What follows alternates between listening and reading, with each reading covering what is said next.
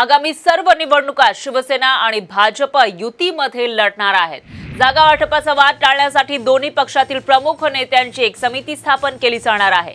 या संदर्भातला निर्णय शिवसेनेच्या बैठकीमध्ये घेण्यात आलाय. तर काल उशिरा वर्षा बंगल्यावर शिवसेनेची बैठक झाली आणि या बैठकीमध्ये हा महत्त्वाचा निर्णय घेण्यात आलाय. याबाबत भरत गोगावले यांनी सुद्धा माहिती दिलेली आहे. आगामी निवडणुका युतीत लढणार असं भरत गोगावले यांनी सांगितलंय. जागा वाटपाचा वाद टाळण्यासाठी समिती तयार करणार असल्याचंही सांगितलेलं आहे. सेना भाजपच्या प्रमुख नेत्यांची समिती स्थापन केली जाईल आणि त्या ती समिती याविषयी निर्णय घेणार असल्याची माहिती समोर येते आहे तर आगामी निवडणुका युतीमध्ये लढणार असं भरत गोगावलेंनी सांगितलंय.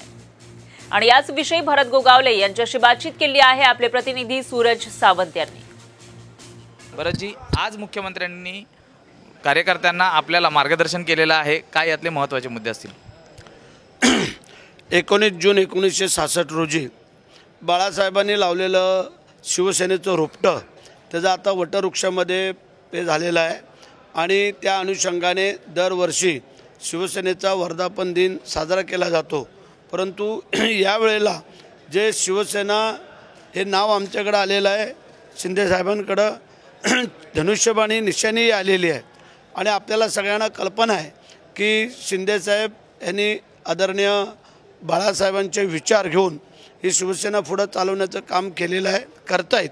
आणि त्यामुळे आजचा जो कार्यक्रम आहे तो आमचा एकोणीस तारखेला होणाऱ्या मेळाव्याचा आहे की शिवसेनेचा जो जाहीर मेळावा होतो दरवर्षी तो यावेळेला नेस्कोच्या या ठिकाणी गोरेगावला होणार आहे. आणि मोठ्या प्रमाणात होणार आहे की आम्हाला सगळ्यांवरती जबाबदारी दिलेली आहे. ते प्रामाणिकपणे आम्ही पार पाडू आणि तो कार्यक्रम यशस्वी करू. ह्या सर्व ज्या काही निवडणुका येतील त्या युतीमध्ये लढल्या तरच यशस्वी होतील अन्यथा यशस्वी होणार नाही.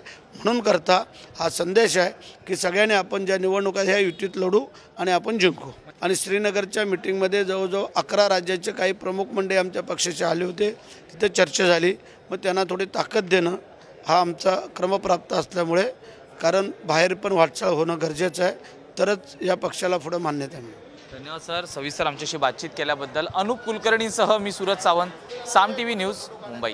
खऱ्या अर्थाने आज जो सर्वे झाला त्याच्यामध्ये सुद्धा पुन्हा एकदा युती महाराष्ट्रामध्ये सरकार सरकारमध्ये येईल. अगदी नगरपालिकांपासून महानगरपालिकांपर्यंत आणि जिल्हा परिषदांपासून येणाऱ्या प्रत्येक इलेक्शनमध्ये आम्ही युती म्हणून एकत्र लढू अशी योजना आदरणीय मुख्यमंत्री महोदयांनी केली. आणि त्याच्यामुळे कुठलीही स्टेटमेंट याच्यावर कोणीही विश्वास ठेवू नये. युती ही अखंड आहे मजबूत आहे आणि विरोधी पक्षाची लोक तसा जो खोटा प्रचार करतायत याला कोणीही बळी पडू नये.